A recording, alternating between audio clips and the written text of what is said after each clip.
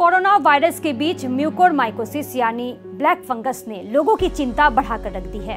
उत्तर Bengal medical college व अस्पताल में ब्लैक फंगस से अब तक पाँच लोगों की मौत हो गई है। वहीं कई लोग फ़िलहाल ब्लैक फंगस से संक्रमित है। जिसके बाद आज उत्तर बंगाल मेडिकल कॉलेज व अस्पताल में ब्लैक फंगस को लेकर एक सेमिनार का आयोजन किया गया।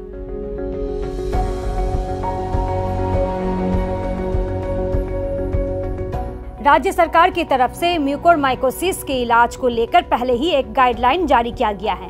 इधर आज के सेमिनार में विभिन्न विभागों के अधिकारी मौजूद थे। इस संबंध में उत्तर बंगाल मेडिकल कॉलेज व अस्पताल के प्रिंसिपल इंद्रजीत साहा ने कहा कि राज्य का स्वास्थ्य विभाग म्यूकोरमाइकोसिस यानी ब्लैक फंगस के खिलाफ लड़ने के लिए तैयार है। वहीं राज्य स्वास्थ्य विभाग द्वारा दिए गए दिशा निर्देश का पालन करते हुए उत्तरबंग मेडिकल कॉलेज व अस्पताल भी इस बार ब्लैक फंगस से जंग लड़ने के लिए पूरी तरह तैयार है उन्होंने कहा कि ब्लैक फंगस से संक्रमित उत्तर बंगाल के समस्त क्षेत्रों के मरीजों का यहाँ इलाज किया जाएगा এখানে আমাদের বিভাগীয় প্রধানরা এবং তাদের জুনিয়র ফ্যাকাল্টিরা পিজিরা মানে পোস্ট গ্রাজুয়েট ট্রেনিরা যারা স্নাতকোত্তর কোর্স করছে মানে ফুল টিম রয়েছে।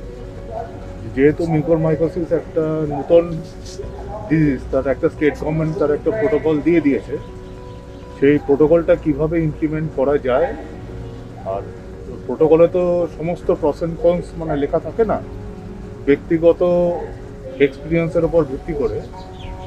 মানে কোনো অজানা পথে যদি আমাকে চলতে হয়, তাহলে আমাকে ঠেকে থেকে যেভাবে আমরা শিখি, সেই ব্যাপারগুলোই এখানে ডিসকাশন মূলত হলো, যাতে সবাই জিনিসটা সম্বন্ধে ওয়াকিবহাল হয় এবং সবাই জিনিসটা যাতে শিখে নিয়ে, বুঝে নিয়ে প্রপারলি ম্যানেজ